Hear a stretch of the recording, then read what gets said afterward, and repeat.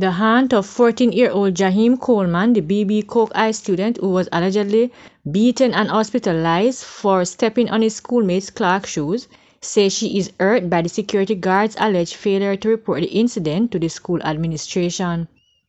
Tamika Holness told Observer Online that after the incident, her nephew was reportedly rushed to see the doctor by his friends. It's very sad to see that you can send your kids to school and to get a phone call like that, she expressed. What hurts most is that the security guard at the gate didn't report it to the teachers or the principal. Preliminary reports are that shortly after the dismissal of classes, the two boys were among students collecting their phones when the older boy accused the younger boy of stepping on his Clark shoes.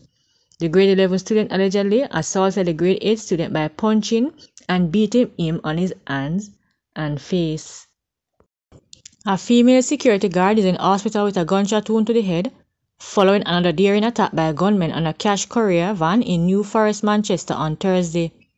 The incident reportedly happened sometime after 6 p.m. It is believed that the bullet grazed the head of the 57-year-old guard. The police said no cash was stolen and the gunmen made their escape. The latest incident follows the August 25 armed robbery of a beryllium courier team in Mandeville, Manchester. The incident left five people injured. A 40-year-old farmer has been charged for allegedly pulling a firearm and shooting a man in Dengal Vineyard, St. Elizabeth on September 23. Charged with wounding with intent, possession of a prohibited weapon, and unauthorized possession of ammunition is Howard Gerald Williams, otherwise called Pim Pim of Mango Walk district in the parish.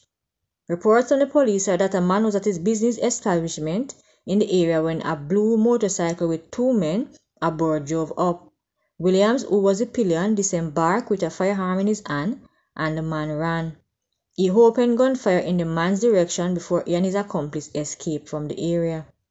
After the shooting subsided, the man discovered that he had been shot and was taken to hospital where he was treated. He later reported the matter to the police and an investigation was launched.